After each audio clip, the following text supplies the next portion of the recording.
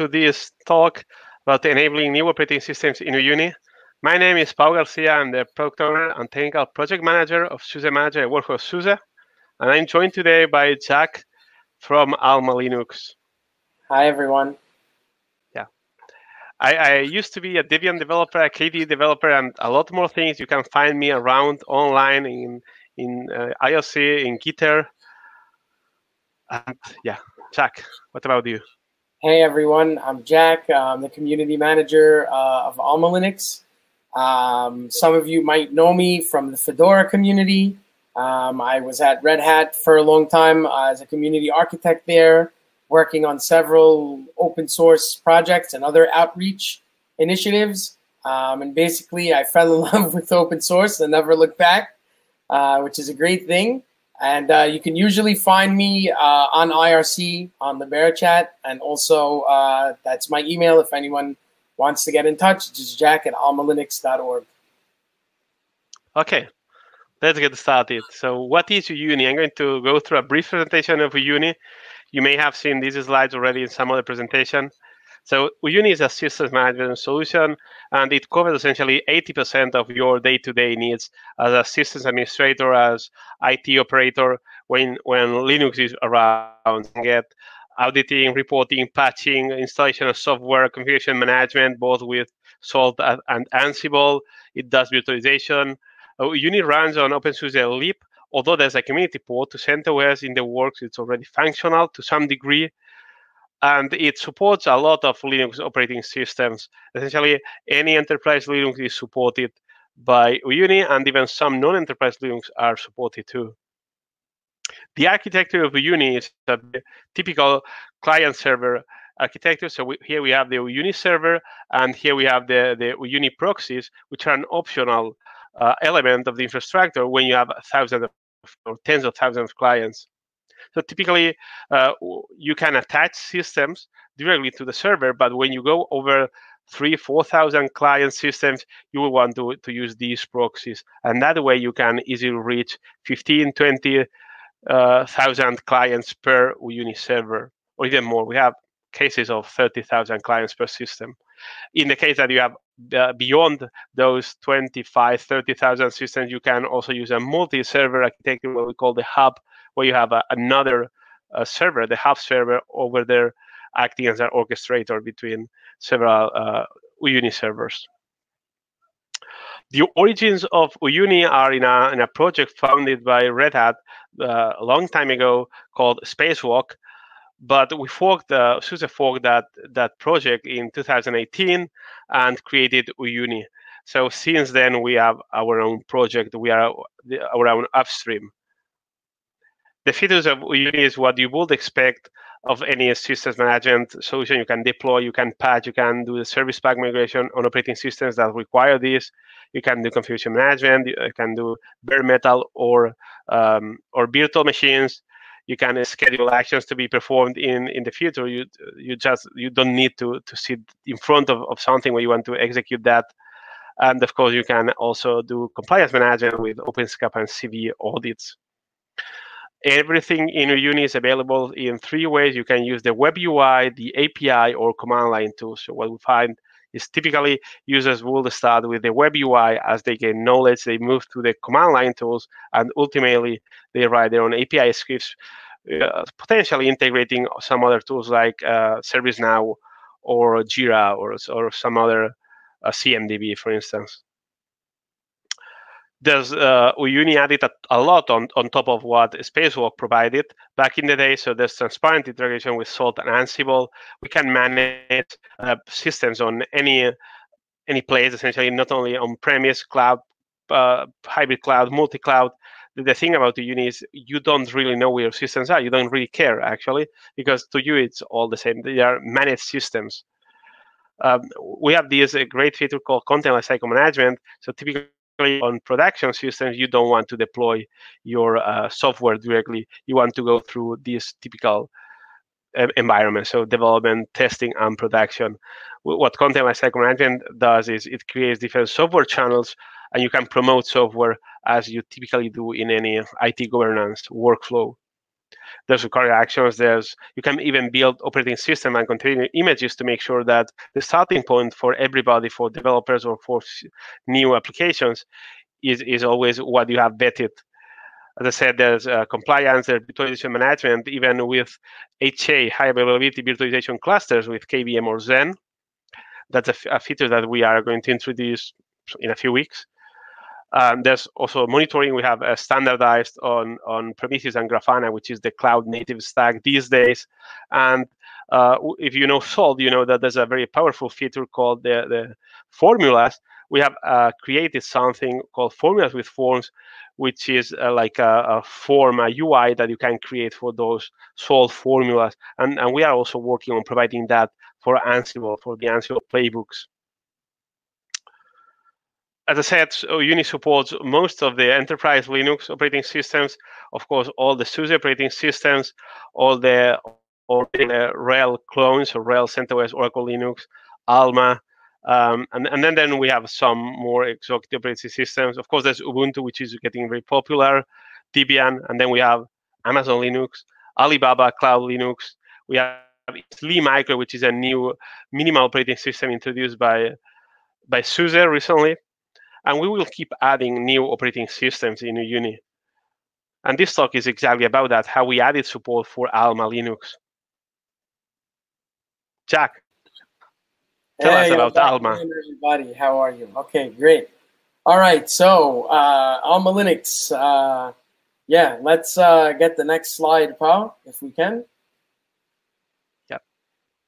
So that's our project. Okay, so who or what is Alma Linux? Um, so we're uh, we're an open source and forever free enterprise Linux distribution and community. Um, we're one-to-one binary compatible with RHEL. Uh, we're a CentOS alternative as well. Uh, so uh, if anyone is uh, looking for an alternative to CentOS, uh, you've come, you know, you know where to look. we're also a 501c6 nonprofit and that's very important because that means that we're owned, governed, and driven by the community. Um, there's no single entity that owns uh, any of the intellectual property, any of the trademarks, um, any of you know that that type of stuff. It's all everything is owned by the nonprofit, and that's to ensure continuity. We basically want to make sure that uh, what happened with CentOS does not happen again, and um, this is one of the ways of making that happen.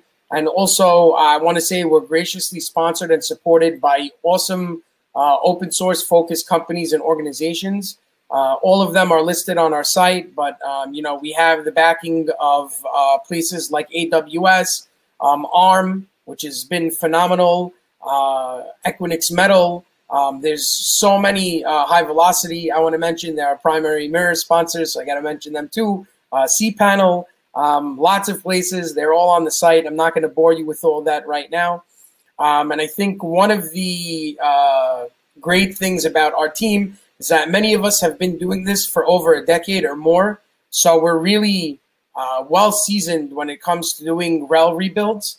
Um, and I think that, you know, the, the product uh, definitely shows that. Um, the OS is rock solid. Um, we were able to rebuild RHEL 8.4 um, in only three or four days after uh, Red Hat actually released it, which is like, a, if you know anything about the history of the community, that's like amazing speed. Um, and and we want to we want to make that even shorter for the future, and we have plans on making that even shorter for the future.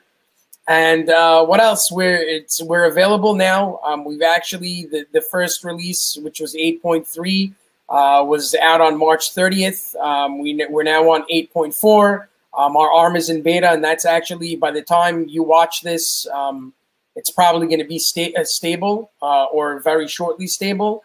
And um, we have some great features like uh, secure boot, OpenSCAP support. We support errata. Um, you know, it's just really a well-seasoned, very well-developed uh, uh, enterprise Linux distribution. So, what am I doing at a at a Uyuni talk at an open SUSE conference. Uh, well, uh, I love to. I love this quote. Not all those who wander are lost. For any of the uh, Lord of Lord of the Rings Hobbit fans out there, so um, we're definitely definitely didn't wander to the wrong place. That's for sure. let's get the uh, the next slide. So um, why are we here? Because we believe in community and collaboration. Um, I think you know from from the minute the project was released, uh, we set out to start working with everyone in the community um, across you know really everywhere, um, and and we just want to.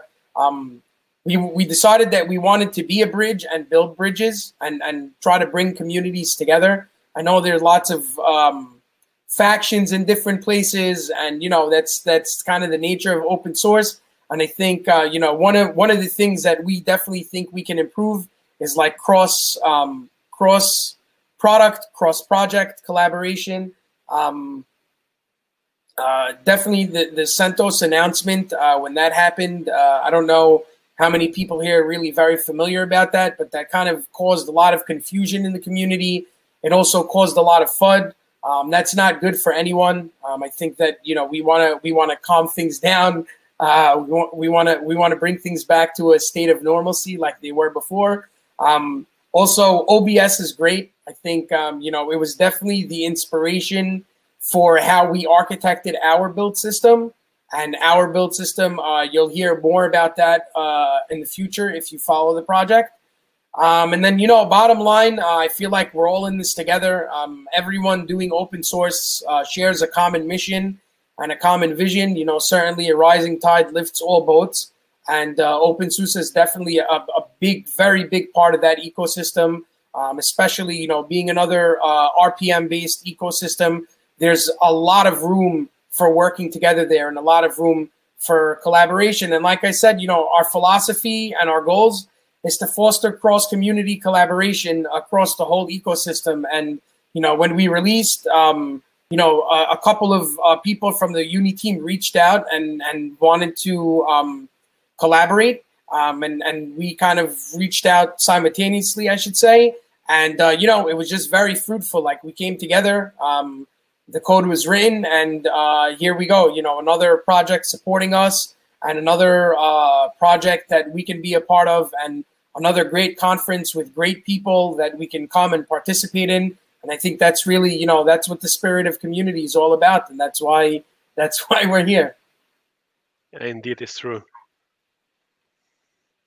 And uh, okay, so really, um, we'd love to ask, you know, what can we do for you? Um, you know, we'd, we'd love to we we love to help in any way possible. Um, anyone working on any project, um, you know, if if uh, you're looking for help with anything, um, and also if you'd like to contribute, uh, we certainly you know love the community growing. It's been growing uh, like crazy, and uh, welcome everybody from all over the world. Um, it's really crazy. We have like in our chat, we have conversations going on like in English and Spanish and Turkish and Japanese. It's just it's been amazing. So um, you know, definitely check us out. Uh, we have our Mattermost server. It's chat.almalinux.org.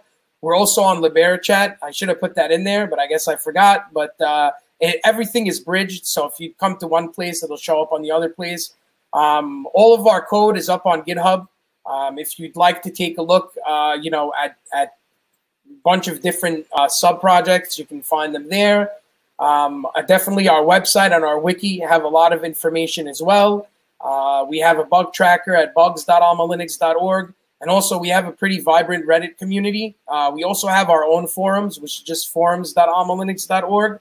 Um, again, you know, feel free, just find us anywhere. Um, you know, come by, participate. We already had a few uh, SUSE people uh, jump in our chats and in other places. And, you know, we were totally very welcoming. We love to work with everyone. We like to hear everyone's opinions. And I think that's the best way um, to make sure that great great open source is produced uh, by just listening to everybody, trying to find out what they need. And you know, people come in all the time with different opinions, and hey, you know, this should be differently. Um, as long as it, you know, is definitely like has merit and is positive, uh, we're more than happy to to make those changes and to to make those things a reality. So um, again, you know, we we decided to come here because uh, we did the integration. The integration went great and we certainly love the community. We want to build bridges, and uh, I'll just, uh, if you want to show the next slide, I can sign off. You can also uh, find us on Twitter if you guys want. And you know, we love uh, we love OpenSUSE. We love SUSE. We love the community.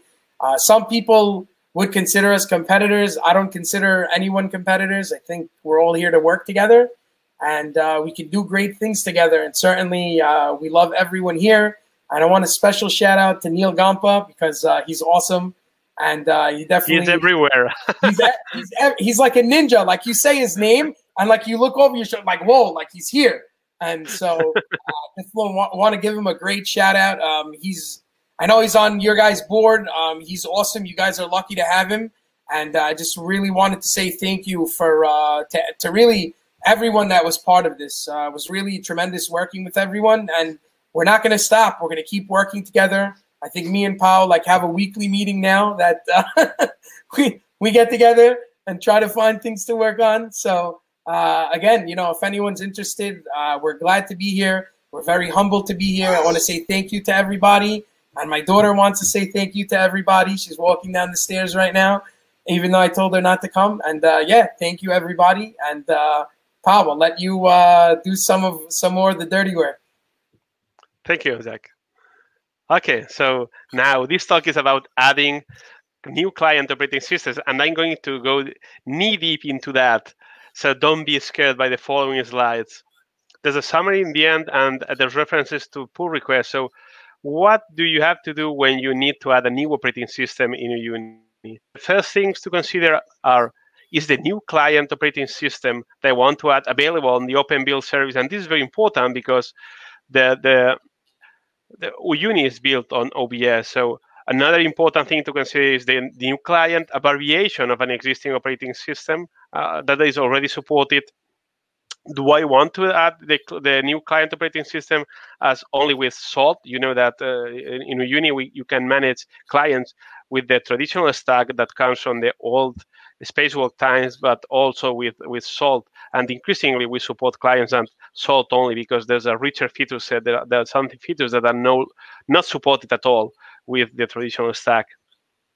And also an important thing, if you are going to support with Salt, which you, you should do, then is the client operating system known already by Salt, or do I need to enable this new operating system in Salt?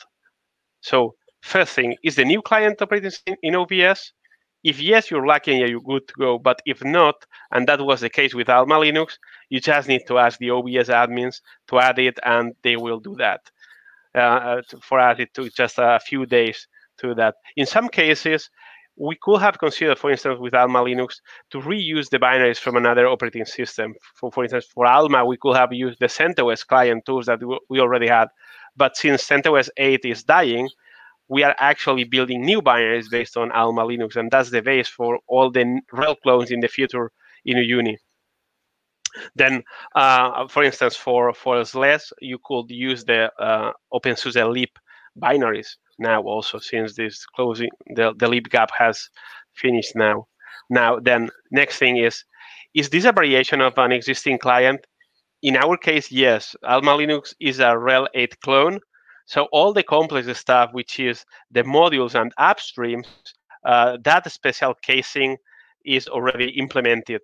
So yeah, that part we didn't need to really delve into that. As I said, we could have built the uh, use the CentOS 8 client tools, but in our case, we are going to phase up CentOS 8 client tools and actually adopt Alma Linux as the new base for all of these uh, what uh, so-called enterprise Linux class operating systems. Salt only or Salt and traditional.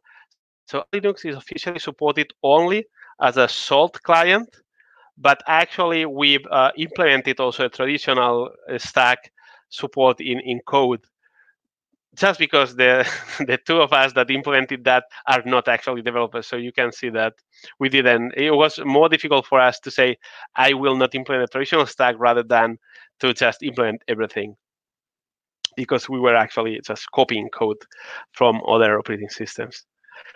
And then if the new client operating system is not known by Salt, which was the case of Alma Linux, you need to add a grain. And I think a grain is rather easy. You just need to, to go to Salt. This is the upstream, and but you, you need to that in the OpenSUSE package also, which is usually faster. um, than, than uh, salt accepting your grain. And it's rather easy. You just need to set um, like a code name, a string, and that's it. So it's two places. It's really easy. And then you have to say, this Alma Linux is of the Red Hat family. And with that solved, we know what package manager to use, uh, how to resolve conflicts, and all of that. Then you need to set up a development branch for yourself. You need to uh, fork and clone the, the source code of Uyuni. Then you need to create a fork in OBS to actually build the packages so that when you uh, write code, you can actually build those packages and deploy that and make sure that everything is all right, including database migrations and everything. Uh, you need, uh, if, if, you're uh, adding a new client operating system, you need to fork some client tools or to start from scratch. But I would advise to just select one of the of the supported client tools already, and with that, um, uh, start from there there's a wiki page explaining how to uh, how to set up all of these in full detail. Then where, what's the code that you need to touch? So this is the easy part and this is the minimum that you need to do. There's some Python enablement, some enablement in Salt that I essentially already showed most of it. And there, there's an ini file which lists the, the repositories of the new client operating system. If you want to add some uh, niceties in the web UI, then you can go and implement some Java and SQL code. And this is actually like 75% of the work. So yeah, you, you can keep it minimal and it will, it's fully functional. But if you want to, to have all the, the beautiful things in the web UI, do the Java part and SQL part. So repositories, we just need to add this to this space called common channels. I have added these uh, repositories, the GPG key, and everything. So this is for x86 64. When there's aarch64, we will also add it. That's trivial mostly.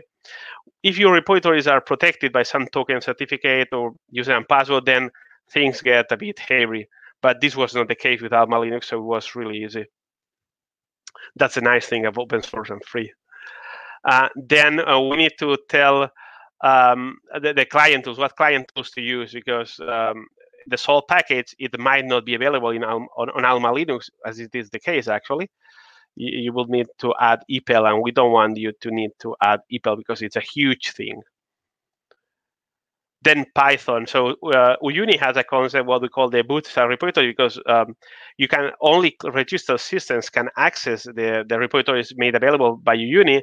But what if you are not registered yet. How do you access the minimal repository with the, the packages that you need in order to register? That's what we call the bootstrap repository.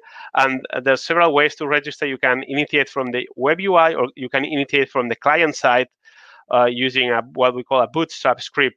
And in order to enable that bootstrap script, essentially you need to tell uh, Uyuni, hey, this is the file that you need to look at, this Alma Linux release, match this string, and if it's that, then you will have to use those packages that bootstrap but you remember that was exactly the, the grain that we used uh, in the previous slide.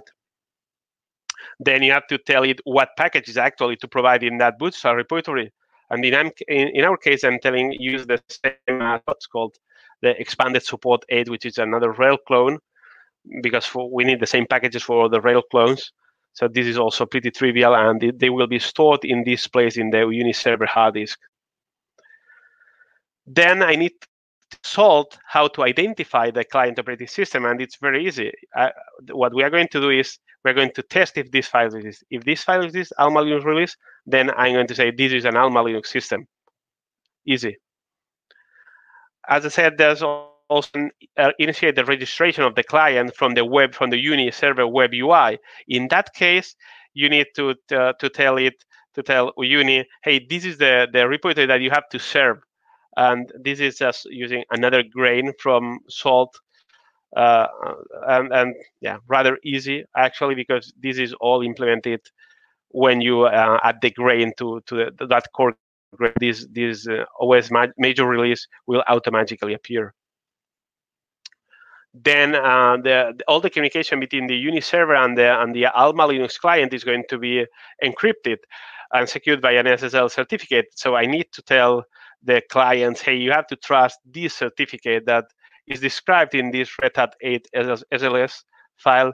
Actually, uh, we use the same SSL certificate for all the clients for all the operating systems. So, but for historical reasons, we keep saying, yeah, we keep different files describing that. We are simplifying that because it doesn't make any sense to keep it complex. Then uh, this is so with this we for the basic part. So with this, that was the first part of the enablement that we did for Alma Linux, and with this, Alma Linux is fully functional as a client already. Next thing that we can do is if I want to show in the web UI uh, where do these packages come from, and I want to say, hey, this RPM comes from Alma Linux. Then I have to add the, the GPG key to this and this provider called Alma Linux. And then we get into the 30 files of Java that you need to touch.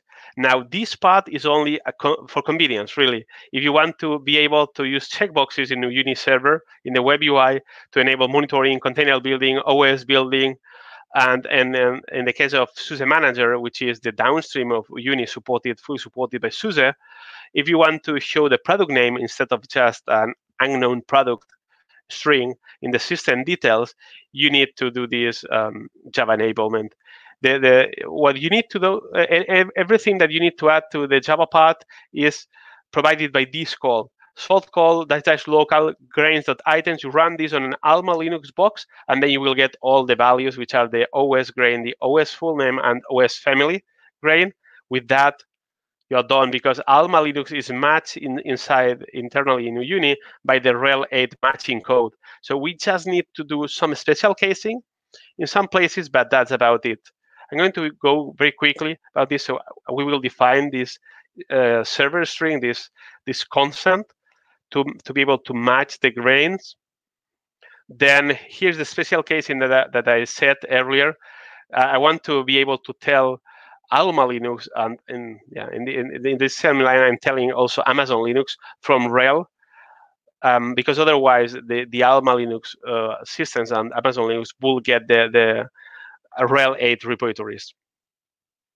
Another thing I'm going to say, okay, match the OS grain provided by Salt. If it's Alma Linux, then I have to do this, which is running some remote commands more testing against the uh, OS grain in different places for Alma Linux.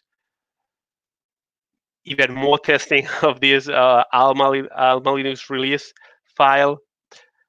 And here am I, am I, am I connecting essentially the Java part with the Salt part. This, this detect plain rel part, what it does is uh, it, it, this, goes to the code that connects the, the Salt bus, the ZeroMQ bus, with the uh, Java part that comes in the Uyuni server. Even more, uh, really Alma Linux release file. You can see that this is spread uh, across a lot of places. And here is the, the, the, the final place where we actually say, I'm passing this parameter, which is the content of the Alma release file, Alma Linux release file, and that's going to be what what the all the previous code that was checking for the Alma Linux release will uh, get. Of course, if there's no Alma Linux release file, because this is, I don't know, Slash or VZ Linux or McAfee Linux, whatever, this will be empty, and that's why this is optional code. We keep connecting the thing, so this is the contents. We are reading the contents of this Alma Linux, and that's about it. So in summary, you need to uh, do edit like 10 files Python and Salt, and that's the easy part. And then in order to get the nice parts in the web UI, you need to touch in 30 additional files, which is a bit cumbersome. We, we really want to simplify this. So, uh, but even though it's 40 files that you need to touch for a RHEL clone or a Debian clone or a SLES or OpenSUSE clone, it took us like three days by two non-developers. There was Julio working with me. Julio is our SUSE manager and Uyuni release engineer. If you attend the Uyuni community hours last Friday of the month, you know him because he's quite often there. And myself, I'm the product owner. I have not coded for years. I'm actually product manager, kind of product guy. so uh, it took us three days in the SUSE Hack Week back in February to implement this. And my question to you is, what's the next operating system that you are going to enable? Because I have this code that there's tons of clones of RHEL, tons of clones of Debian, like Linux Mint, VZ Linux, McAfee Linux. Rocky Linux is already in the work by the community, so just keep adding. Wow.